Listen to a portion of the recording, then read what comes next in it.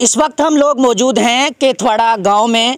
यहाँ पर हाल ही में एक घटना हुई, छत्तीस भेड़ जो कि बिजली की चपेट में आने से, उसके करंट लगने से जिनकी मौत हो गई और जो एक गरीब परिवार है, जिनके छोटे छोटे बच्चे हैं, जिनका एक आय का एक यही एक साधन था, जिनका एक यही एक ज़रिया था, अब उनकी रोजी रोटी हमेशा के लिए जो पूरे तरीके से ख़त्म हो चुकी है। वो एक बिजली विभाग की लापरवाही के कारण जो छत्तीस भेड़ें मर चुकी हैं।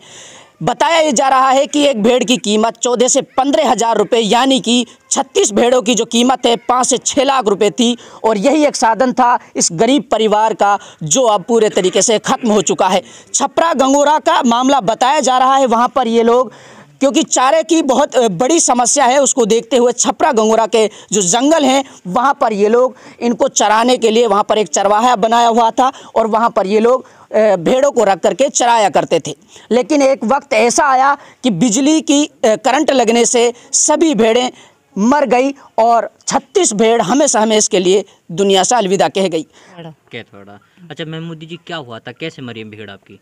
चरान लिया गो लाल हम्म। चरान लिया गो तो नुकनी खेत में बिजली उतर आई। अच्छा। तो वहाँ कोई खंबा था? हाँ खम्भो लोहो को। अच्छा। बड़ी लाइन जा रही। हम्म। झट्टी मर गई सब हम चिपट के नहीं लाइन टूट गई कितनी भीड़ मरी एक साथ? छत्तीस। छत्तीस भीड़ मरी छत्तीस।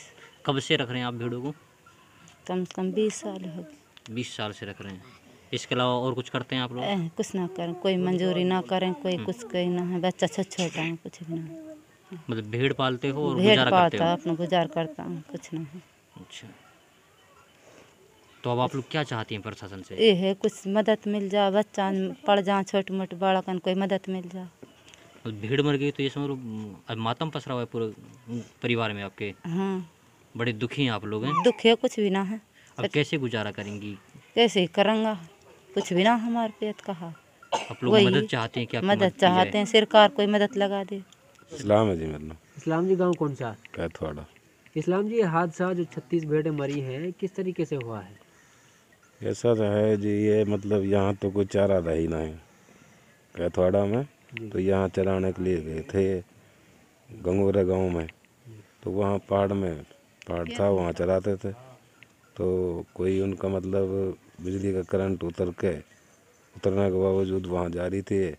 करंट की वजह से वो छत्तीस भेड़ मारी गई।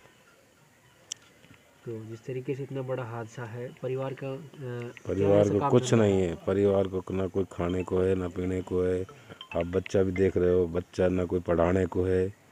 गरीब आदमी उनने पालते थे और उनसे ही गुजारा करते वास्तव में बात भी सही है ये।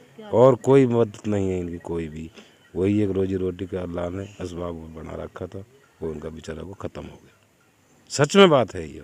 सरकार से कोई गुहार लगाना चाहिए। अब जो भाई सरकार मदद करे बहुत अच्छी बात है। और और कोई मदद हो तो वो भी बहुत अच्छी बात है। इसकी शिकायत दी है आपने अजी शिकायत दी है इसकी प्रशासन को? दी है मेरे ख्याल में। तो क्या चाहते हैं आप? तो यही चाहते हैं कोई सहायता मिले बच्चों के लिए जो इनका पालन हो। अगर कोई संस्था आपकी मदद करना चाहे तो आपसे कैसे संपर्क करेगी? क्या नंबर है इनके परिवार का? परिवार का नंबर आपको दे देंगे। नंबर है जी अठहत्तर इक्यानवे। चौंसठ सत्तानवे बानवे। एक बार और बताओ। अठहत्तर इक्यानवे चौंसठ सत्तानवे बानवे।